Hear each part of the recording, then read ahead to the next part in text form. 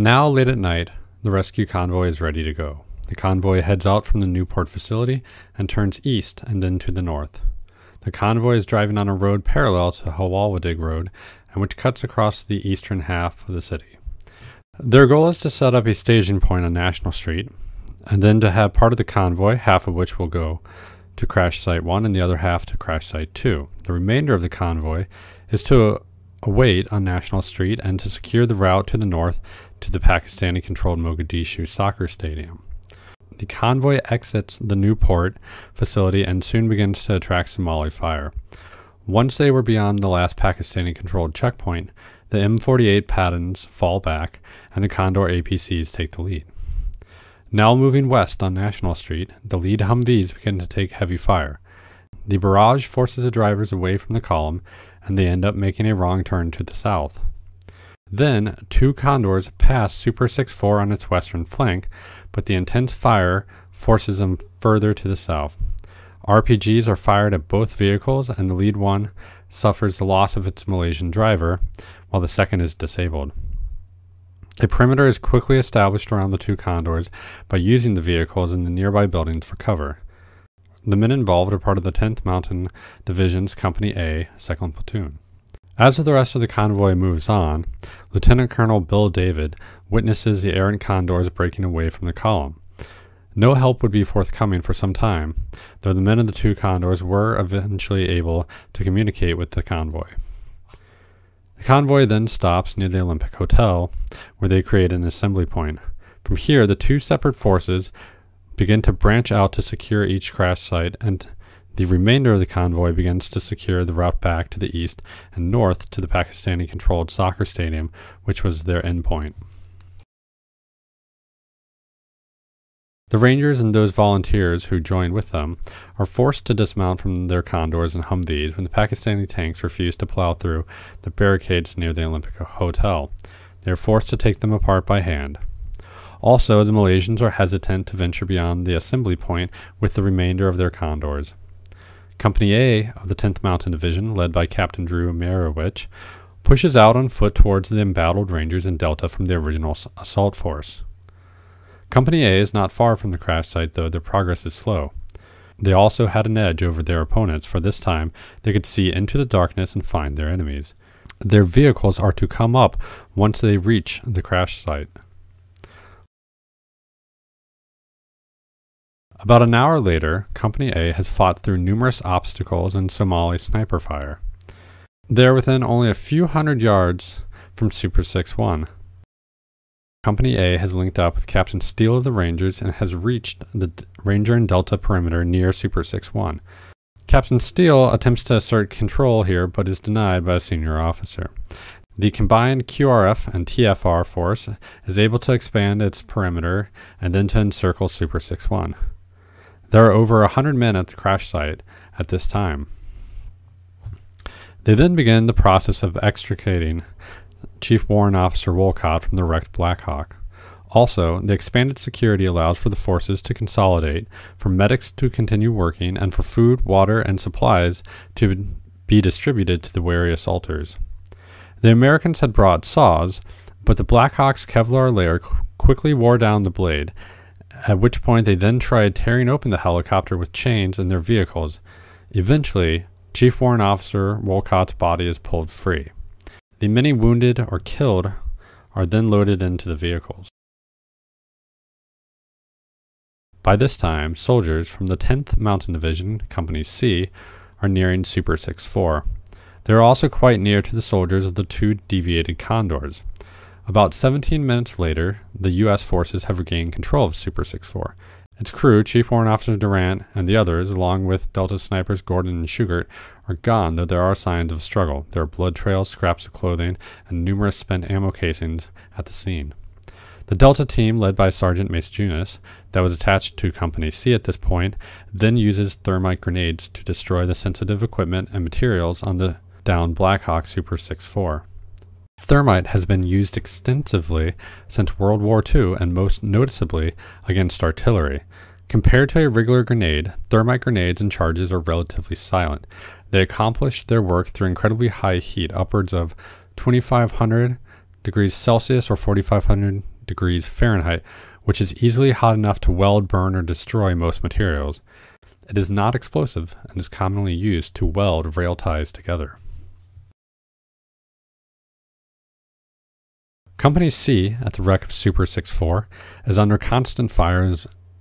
Company C at the wreck of Super 64 is under constant fire and is blocked by Somali forces from pushing down towards the stranded members of 2nd Platoon and their ruined condors. Under the protection of AH-1s and AH-6 gunships, 2nd Platoon is able to reunite with Company C. At one point, two buildings are destroyed by the gunships in order to clear out Somali snipers and fighters.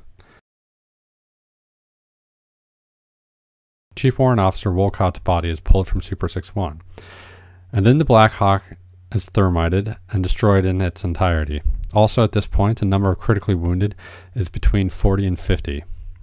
Ready to move out, all remaining forces remount into the Humvees and Condors. However, for about 15 men, there is not enough room. They are from 1st Lieutenant Perino's Ranger Chalk and some from Company A of the 10th Mountain Division. The men are to jog alongside the convoy and to use the vehicles as shields on their return to the Pakistani controlled stadium to the northwest. The convoy is taking and returning fire all along its length. The M48s are shooting at buildings while the Little Birds and Cobras continue to provide air support. As it moves to go to the soccer stadium, the convoy begins to break into sections as the drivers speed up or slow down through different intersections, and areas depending on the amount of fire that they are taking. After some six blocks, the group on foot attempts to flag down one of the last M113 APCs. They are ignored until one of the Deltas levels his rifle at the vehicle. This march that was conducted by them is known as Mogadishu Mile. They are then able to return to the base. Also, some of the vehicles return along the convoy's approach route and arrive at the airfield and then the ranger base. It takes some time for everyone to be accounted for. The wounded begin to receive treatment and others are flown back to the ranger base for surgeries. The initial estimation of a one hour mission had in fact taken 14. After the Battle of the Black Sea, Task Force Ranger conducted no further raids. The battle would later be called in Somali Ma'alinti Rangers the Day of the Rangers. By the time the battle had ended, the U.S. had suffered 13 deaths, 6 were missing, 73 were wounded, and 26 Somalis had been captured. Among them were Colonel Abdi Hassan Awali and Omar Salad, and 24 other Somali National Army members. The Malaysians had a single death and seven casualties. The Pakistanis lost one soldier and had two other injured. The numbers for the Somali forces are harder to pin down, but an estimation of 500 plus killed in action and over a thousand casualties is reasonable. These numbers would later inflate somewhat as the more critically wounded died from a lack of available medical care. Aidid's forces had, however, managed to take down two Black Hawk helicopters, damage other helos, and many other vehicles.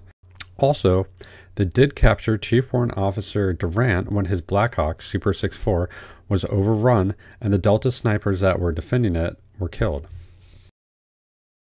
Major General Garrison went on to serve in the U.S. Army until 1996. He retired the day after Muhammad Farrah Aidid died. In the aftermath of the battle, General Garrison took responsibility for what happened in a letter outlining his actions and opinions to President Clinton. The two Delta snipers who volunteered to defend Super 64 would later be awarded the Medal of Honor. The pilot of Super 61, Chief Warrant Officer Clifton Elvis P. Wolcott, was retrieved from the wreckage of his Blackhawk, and he would later be awarded for his valor as well. Chief Warrant Officer Michael Durant spent 11 days in the custody of Aidid's men and under the care of Firimbi Hassan, the propaganda minister to Muhammad Farrah Aidid. He would later be given back unconditionally to the U.S. via the Red Cross. By March 31, 1994, America withdrew from Somalia. The American public no longer held much interest in trying to further assist war torn Somalia. U.S. forces conducted themselves bravely during their time in Somalia, though they faced many obstacles. They had to contend with asymmetric battlefields, foes that could disappear into the local and sometimes tolerant populace, tribal conflicts, and a loosely defined mission. Aidid would remain active in Somalia for another three years. Eventually, he would declare himself president before being taken down by his former allies, Ali Mahdi Mohammed and Osman Ali Atto. The men that were captured during the October 3 raid were held in a jail near Kismayo but would later be released. The Somali strategic victory evokes the past experiences of U.S. forces in Vietnam and the more recent ones in Iraq and Afghanistan. Somalia still faces many problems today illiteracy, poverty, hunger, and the trafficking of humans, narcotics, and weapons, piracy, and the lack of a strong, stable, and lawful government have made it one of the most difficult places to live on earth.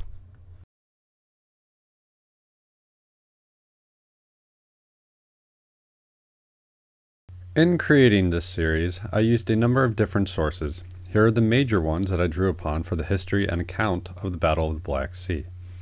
As with any project, I am sure that I have missed or gotten some things wrong. I have attempted to verify everything that I have put pen to paper to, and when a discrepancy has occurred, I have tried to resolve it to the best of my ability.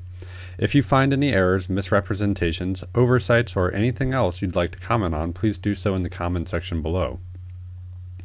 This is a first attempt at a project like this for me, and of this scale and magnitude. It has been a pleasure learning about the trials and triumphs of those who fought proudly on the streets of Mogadishu.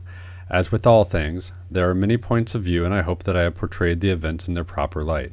Also, if you have any suggestions or requests for future battle reports, please let me know. I would also like to extend a very special thank you to the men and women serving in the armed forces.